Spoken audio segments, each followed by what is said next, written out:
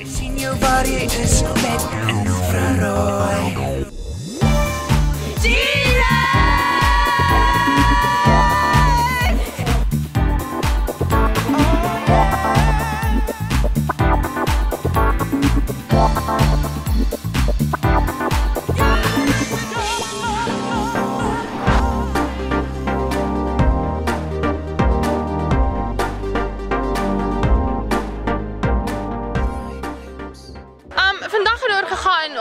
kinders in lofprysing en aanbidding um bymekaar te kry en om om die Here se naam groot te basies. Want uh, die Here daar staan in die Bybel geskryf dat die lofprysing van kinders maak die vyand stil.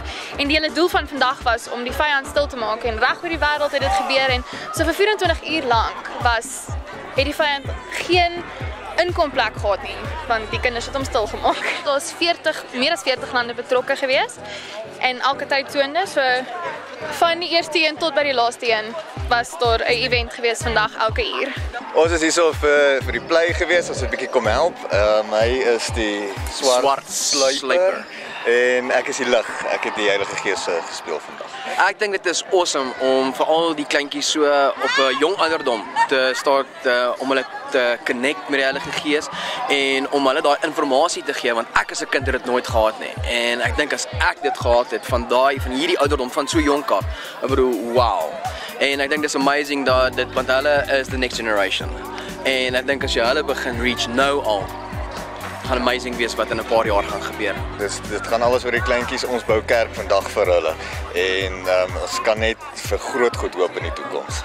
Ais, ek was betrokke met die um, storie wat ek geskryf het. Ehm um, byna die organiseerder het my gevra om 'n storie te skryf oor die vrug van die Gees. So ek het 'n storie geskryf en die roogboom gedirek wat ehm um, vanaand gespeel het gewys. Okay, wow, so jy het self geskryf spesiaal vir vandag? Spesiaal vir vandag. Ons het ook die DVD toe opgeneem, die hele storie opgeneem op green screen wat ons uitgestuur het na al die ander venues in Suid-Afrika om die storie ook te kom kon kyk. Want ek meen, wat is 'n dag, 'n kinderdag sonder 'n goeie storie? Ek moet vir jou sê daar was 'n stadium toe ek sommer bewoe wou raak en um, wat ek ervaar die Heilige Gees sê, moenie kyk na getalle nie, want ek kan een kind gebruik, een kind se gebed kan die wêreld verander. En ek glo absoluut dit is wat die Here vandag gedoen het. Hier was genoeg kinders om Suid-Afrika in die brand te steek en ek glo regtig dat iets gebeur in die gees en ons moenie vaskyk teen teen daar's nie genoeg gespring of genoeg gehuil of wat ook al nie. Glad nie. Ek dink God is groter as dit. God is groter as enige emosie wat daar getoon is vandag. En ek dink beyond behind the scenes die duiwel maar op sy hoede wees. Okay, so julle ouens is nou die actors wat nou lekker saam met Driekie daar opgetree het. Ek het julle gecheck. Julle was nogal cool. So voel julle nou soos rockstars? Ja, voel baie. Soos massive akteurs. Ja. Is julle nou bly dis verby of is julle sad dis verby? Dit is lekker, dit is baie lekker. Sien my dog. Dit was baie lekker so. Dis net baie sad. Okay, nou maar ek hoor dat julle het sommer dit gedoen op green screen en heavy smart afgeneem en al sulke goeders. Hoe het dit gevoel? Dit was baie warm. Baie baie warm. Baie warm. Hoekom was dit warm? Was dit warm? Ja. Al die Maar dit was dit was baie lekker. Dit was gereg. Ek het Jy voel so regte aktris. Maar ons het alles net vir Jesus gedoen. Wat sê weer julle het alles met? Ons het alles net vir Jesus gedoen. vir kinders gewys hoe hulle watse pad hulle moet kies om te vat na die Here en wat se pad is verkeerd. alles het gegaan oor die kinders en oor maatjies se reis. Het gaan oor wat wat God het gaan oor God. Ek dink ons het baie ons het baie lank geoefen en ons het baie goeders ervaar tussenin en daar in die Heilige Gees gegroei toe ons nog so gevind het. En ja, dit was baie baie pret, baie lekker.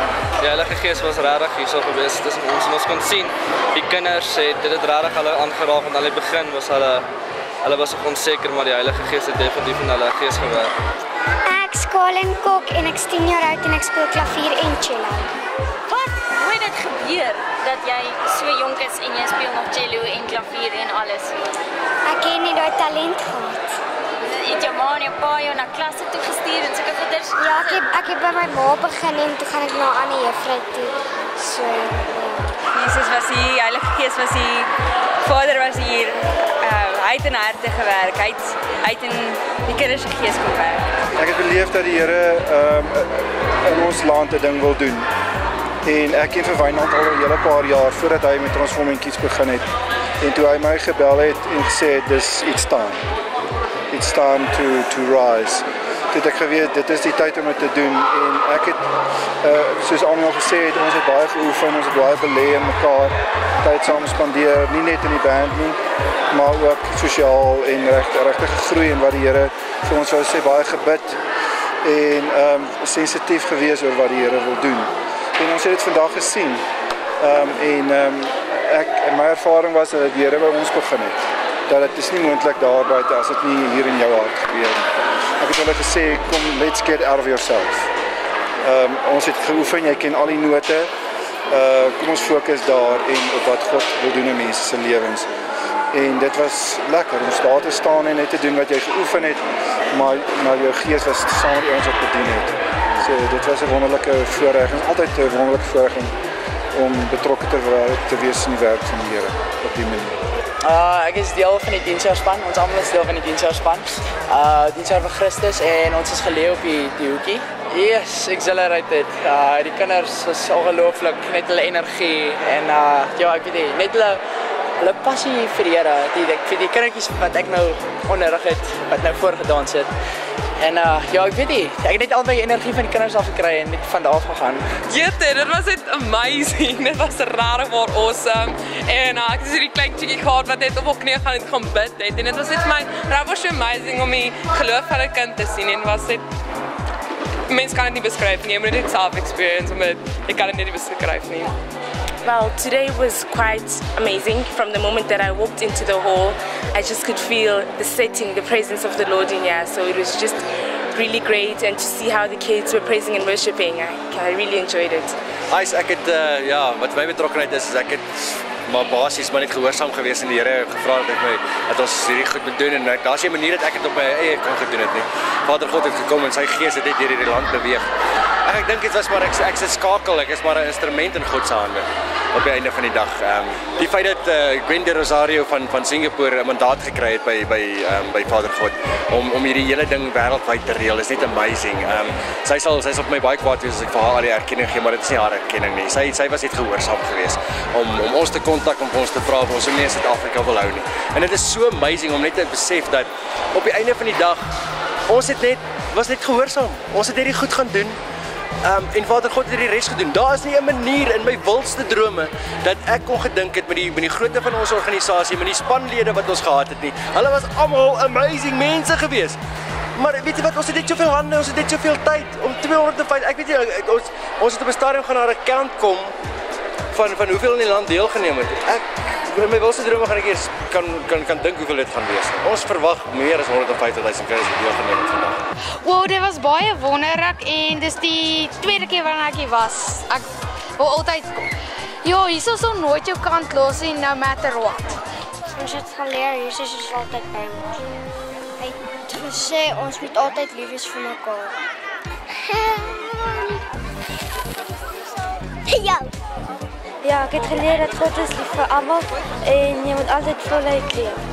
Um, well, for me it was awesome. Uh, it was really great being here amongst all the children, seeing how awesomely God used the little children in worship. Daar het iets met my gebeur. Ek kan loop. No worries. Ja. Dis Kon jy glad- kon jy nee. glad nie geloop het nie? Ek kon ek kon voor voordat dit gebeur het, maar nou kan ek weer loop. Wow, jy het jy hier aangekom met die krikke en nou Ja. Ja. Hoe dit gebeur? Ek weet nie. Cool. Amen. Thank you. Jou body is met infrarooi.